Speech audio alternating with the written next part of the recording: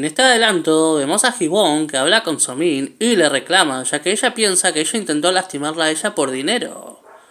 Somin no entiende lo que ella dice y le pregunta de qué está hablando, lo cual hace enojar aún más a Hibon. Vemos que Somin le dice que tuvo un aborto para ver si Hibon tiene algo de lástima por ella. Sin embargo, Hibon le dice que no diga mentiras ya que Mingwan es estéril y no es posible que haya estado embarazada de él. Pero Somin le insiste diciéndole que incluso tiene las ecografías del bebé. Así que vemos que Hibon no aguanta que ella siga mintiendo y se le tira encima a Somin por la rabia. Y ahí termina este pequeño adelanto del capítulo número 13 de Marie Husband.